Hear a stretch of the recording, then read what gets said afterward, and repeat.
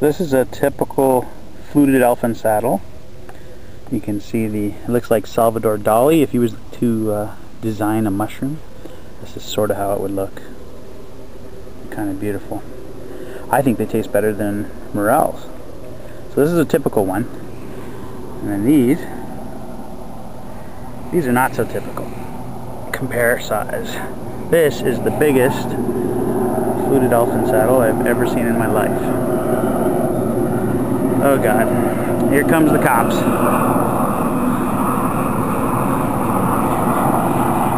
That's a Sea King. Probably gonna crash. I should probably still film this, uh, catch the crash. That goes. Anyway, back to the important things, like mushrooms. So this is the biggest one, most massive fluted elfin saddle I've ever seen in my life. It's huge. Look at this one too. Gigantic. Huge. They're all quite big. Very unusual. Secret spot.